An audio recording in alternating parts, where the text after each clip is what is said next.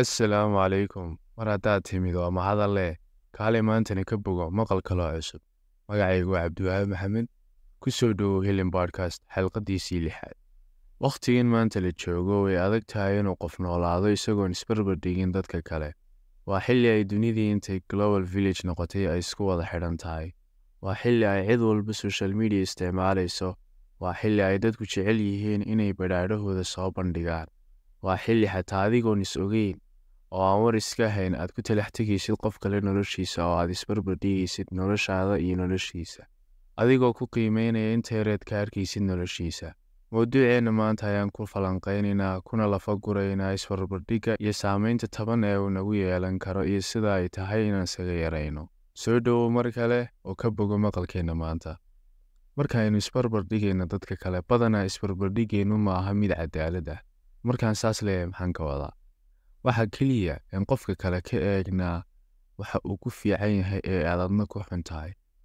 Marna ma eegno waxa uu ku xun yahay ee aan annagu kaga fiicannahay isticmaalka baraha bulshadu waayadan dambe nolosheenna qayb weyn buu ka noqday inuu qof walba dhinaciisa wax ka soo gudbiyo waxaa iska caadi noqotay inaynu badhaadhaheenna u soo bandhigno dunida inteeda kale si loo daawado xaaladda aan ku sugannahay ama halka aynu joogno iyo waxa aynu qabanayno. Balse badanaa ma soo dhigno wax allaaliya wixii aan u aragnay inuu hoosu dhac yahay. Xataa haddii waxaas aynu u aragnay inuu yaro liito intaan isku yaro toostoosinno ayaan soo dhignaa.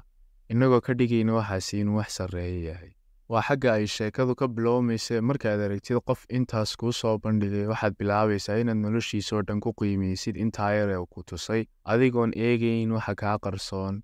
Xataa marka laga soo tego social media dadka caadiga ee aynu naqaano qof la wadaagaya imperfectioniska uu leeyahay ama goldalooladiisa ama waxyaabaha uu ku liito ma jiro ama way yar tahay. Waxaana hubaal ah inuuna qofna dhammaystirnayn uu qof walba goldaloollo u gaar ah leeyahay haddaba taasi adi maxay ku tusaysaa? Waxaa kuu muuqda oo keliya uun inaadan qofka ku qiimayn ee aad xisaabta ku darsatid qofkan inuu lahaan karayo ceebo adig kaa daahsoon iyo meelo ay kalsoonidiisu daciif ka tahay.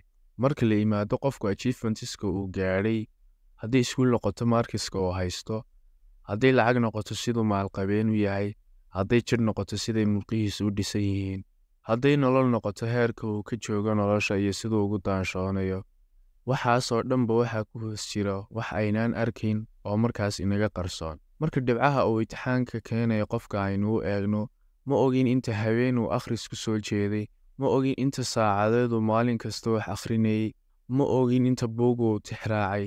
Marka lacagtiisa qofkaan ku qiimaynayno ma ogin meesha uu ka soo bilaabay hayaankiisa uu ku hantay hantida intan leeg ma ogin inta ganacsi ee uu ku soo khasaaray marka aynu eegno qofka jidhkiisu sida uu u dhisan yahay ma ogin inta sanne ee uu jiimta uun tegayey ma ogin inta waxee uu ka tanaasulay si uu jidhkaas u yeesho. Marka aynu eegno qofku noloshan badhaadhaha miidhan ee uu ku nool yahay ma ogin yaraantiisii iyo sida uu ku soo koray ma ogin rafaadka uu ka soo maray inuu nolol caynkan ah ku noolaado. Mar kastaba waxyaabo innagu aynaan arkaynin oo inaga qarsoon ayaa jira taasna inaan ogsoonaanno ayaa loo baahan yahay haddaba aynu isu yaro dul taagno saamaynta taban ee ay nagu yeelanayso inaynu isbarbar dhigno dadka kale. Mar kasta oo aad isbarbar dhigto dadka kale waxaad caqabad ku noqonaysaa farxaddaada iyo kalsoonidaada. Waxaad arkaysaa qof wax aadan haysanin haysta ama qof aad ismoodsiinaysid inuu kaa sarreeyo. Kalsoonnidii naftaada aad ka haysatayna hoos bay u dhacaysaa.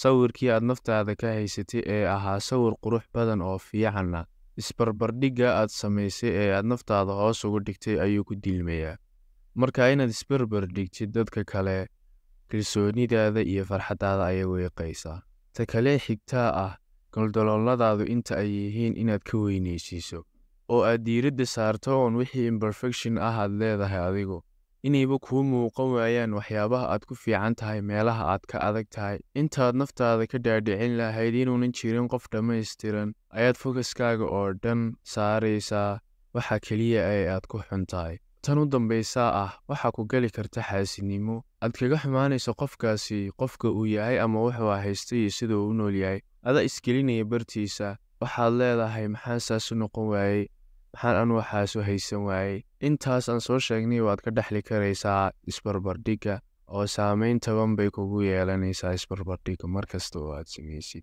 Bal haddaan intaasoo dhan soo sheegnay aynu u bayno dhanka kale oo aynu isla baadhno. Maxaa xal u noqon kara oo inaga badbaadin kara isbarbardhigga? Talooyinku way badan yihiin. Hadday noqoto mar kasta oo aad is aragtid inaad isbarbardhigaysid qof kale inaadan hal dhinac oo keliya aadan ka eegin oo aanad eegin oo keliya wuxuu kaaga fiican yahay oo keliya. Eed eegtid adba waxaad kaga fiican tahay. Waxaa jira intaasoo shay oo ilaahay kugu manaysta oo ina dadka kale haysan. Kuwaas mar ood isa soo hordhigtid niyaddu way kuu degaysaa. Wanaagyada aad leedahay weynee wax walbood ku fiican tahay naftaada bishaaro uga dhig oo ha kuu muuqdaan intaad diiradda saari lahayd waxaad ku xun tahay. Haddii aad xal u heli karaysid waxaad ku xun tahay. Xal u raadi wayse ka ahayn mar kastaba waxaad isa soo hordhigtaa waxyaabaha aad ku fiican tahay aad dadka kale kaga sarrayso meelaha aad kaad adag tahay waxaasoo dhan isa soo hordhig si uuna sawirka naftaadaad ka haysato kaaga lumin. Kalsoonidaaduna hoos ayna u dhicin. Laakiin talada u muhiimsan ee aan nafteeda iyo taadaba siin lahaa waa inaad hal qof uun isbarbar dhigto. Hal qof oo keliya. Qofkaasina qof kale ma aha. Waa adiga.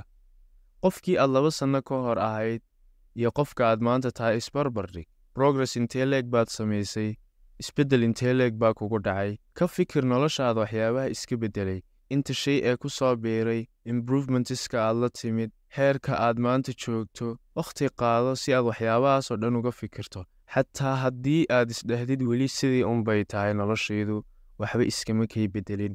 Shan sanno laba sanno saddex sanno xaggii aan joogo baan maantana joogaa haddii aad leedahay maanta ayay tahay inaad horey u dhaqaaqdid. Laga yaabaa wixii intaas ku haystay hoos kuu dhigayay lugta kugu dhegganaa. Inuu ahaa isbarbardhig aad dadka kale isbarbardhigaysay oo aad qof walbaba noloshiisii noloshaada isku eegaysay. Aad islahayduun anigu sidanaan ahay isagoo aa sidaa markaa waxaasaan u gaadhi lahay waxaasaan u qaban kari laayahay oo aad intaasoo dhanba adigu naftaada liidaysay. Haddii aad rabto inaad isbeddel samayso oo aad noloshaada heer gaadho meeshaad ku haminaysayna aad gaadho oo aad hayaanka isbeddelka ku soo biirto waxaan kugula telin lahaa inaad soo dhegaysato xalqadda afaraad waxaad ka heli talo iyo xeelado ku anfaca kuu horseedi karaya isbeddel nololeed oo qurux badan. Xabadda dheeraadka ah ee aan kuugu daraya intaanay xalqaddani dhammaan ayaa ah. Ilaahay ku shukri nicmooyinka uu ku siiyey ilaahayna uu kuu siyaadinayay dadka kalena waxay haystaan ilaahay barako u weydii adna weydiiso wax ka khayr badan inuu ilaahay ku siiyo. Haddaad soo gaadhay ilaa dhammaadka xalqaddan aad baad u mahadsan tahay waxaan rajaynayaa inaad ka faa'iiday. Waa inoo iyo maqalkeenna dambe iyo mawduuc cusub. Hadduu mowluhu idmo